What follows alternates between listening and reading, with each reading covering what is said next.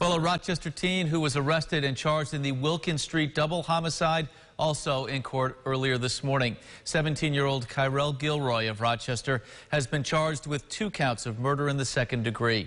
It's uh, in connection to the September 20th shooting deaths of Marquand Williams and Justin Seiler of Rochester. Jeannie McBride was at the arraignment this morning and joins us with more. Kyrell Gilroy is only 17 years old, but will be tried as an adult for the deaths of the two victims. Now, remember, this incident happened a little over two months ago.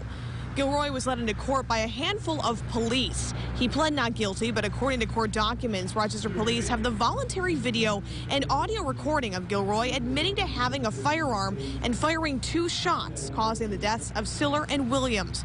Both the defense and DA says this is a tough case for all families involved.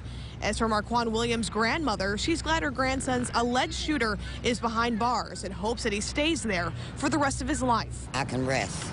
I pulled a muscle trying to get here so fast this morning. I just wanted to see what he looked like and who he was and why. Yeah, but I'll be at every court appearance. A preliminary hearing is scheduled for Gilroy on December 3rd, but his attorney believes, based on these charges, that it will more than likely be waived to grand jury. In Rochester, Jeannie McBride, News 8. And Gilroy has another charge of tampering with evidence in another case, according to his attorney. That is still going through the city court.